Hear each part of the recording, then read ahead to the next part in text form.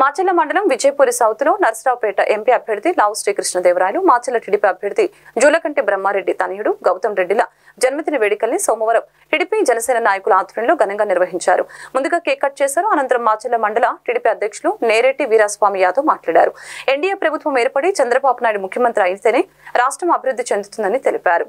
ఎన్నికల్లో నర్సరావుపేట ఎంపీ అభ్యర్థి లావు శ్రీకృష్ణదేవరాయలు మాచల టీడీపీ అభ్యర్థి జూలకంటి బ్రహ్మారెడ్లను అత్యధిక మెజారిటీతో గెలిపించుకుందామని తెలిపారు.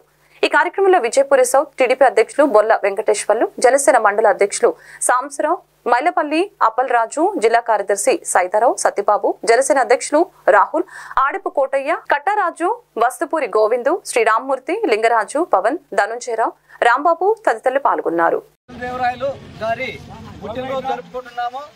అదేవిధంగా మన మాచర్ల ఎమ్మెల్యే అభ్యర్థి జోలకంటి బ్రహ్మారెడ్డి గారి కుమారుడి గౌతమ్ రెడ్డి గారి పుట్టినరోజు జరుపుకుంటున్నాము.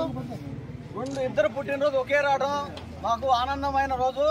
వీళ్ళిద్దరు కూడా వందేళ్ళు సుఖశాంతులతో ఆ- ఆయు ఆరోగ్యాలతో ఉండాలని ఆ దేవుణ్ణి ప్రార్థిస్తున్నాము.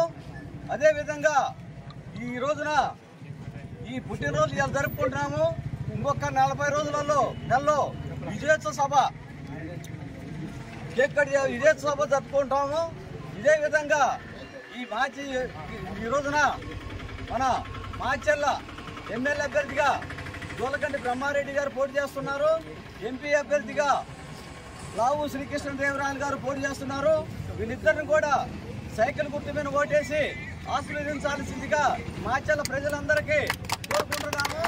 అదేవిధంగా రోజు కాకుండా అన్ని కూడా ఒక నెలలో విజయోత్సవ సభ ఈ ఈ సాగర్ మాచల మండలం విజయపూర్ సౌత్ రైట్ బ్యాంక్ నందు ఎన్డీఏ కూటమి అభ్యర్థి శ్రీ లావు దేవరాయలు అలాగే మాచల నియోజకవర్గ ఎన్డీఏ కూటమి అభ్యర్థి శ్రీ జోలకంటి బ్రహ్మానంద రెడ్డి గారు తనయుడు జోలకంటి గౌతమ్ రెడ్డి గారికి ఈ రోజున రైట్ బ్యాంక్లో ఘనంగా పుట్టినరోజు వేడుకలు జరుపుకుంటాము. ఈ పుట్టినరోజులు మరెన్నో జరుపుకోవాలని వారి ఆయురాగ్యాలతో నిన్ను నీళ్ళు ఉండాలని మనస్ఫూర్తిగా కోరుకుంటూ అలాగే జోలకంటి బ్రహ్మానందరెడ్డి గారు జోలకంటి బ్రహ్మానందరెడ్డి గారి మే పదమూడున ఎన్నికలు జరుగుతున్నాయి. కాబట్టి ప్రతి ఒక్కరు సైకిల్ గుర్తు ఓటేసి బ్రహ్మారెడ్డి గారిని అలాగే శ్రీకృష్ణదేవరాయల్ని అఖండ మెజార్టీతో గెలిపాలని కోరుకుంటూ జూన్ నాలుగున ఎక్కింపు రోజున ఇదే ఇదే సంబరాలు చేసుకుంటామని